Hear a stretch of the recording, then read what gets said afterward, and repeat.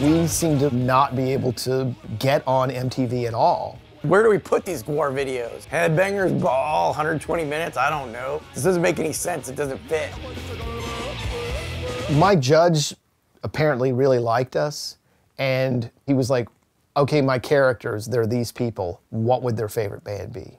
Oh, it would be Gwar. Of course, Beavis and Butthead's favorite band would be Gwar. Beavis and Butthead was such an important show. And, you know, because of the autonomy that Mike Judge had in programming that show, he was able to go over the heads of the people in the music programming department. It exposed them to places in the country where there weren't even that many radio stations. It's like you have to watch TV for like hours and hours and hours before you see this video. But like when you do, then it's all worth it. Yeah.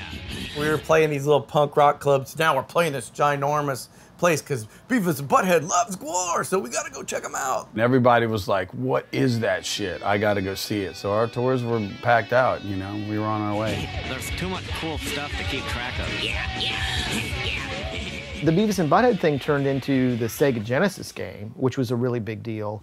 The point of the whole game was to go to a Gwar concert. I just thought that was the coolest thing when I was a kid. I wrote one of them riffs on that song, and it ended up on the game. They put it on. It was like. Toot, toot, toot, toot, toot, toot, toot. Hey, that's badass. Why did I come here? Cool. Yeah.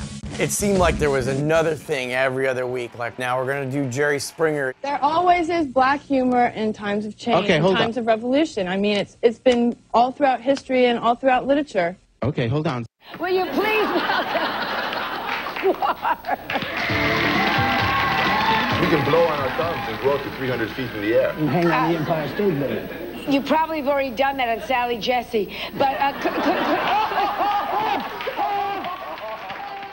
We did a, a skit in our show, The Idiot Box, where you know they you sacrifice your daughter to Gwar, and they come to your house and they take your daughter, and she ends up in the show, gets fed through a giant meat grinder. The whole thing is super violent, and there would be people in the audience who were kind of freaked out, and even Heather was Well, she out. got put into a meat grinder. no, but it wasn't real. They weren't really gonna like. Uh, you never know. Yeah. Remember the name for your games, Circuit City!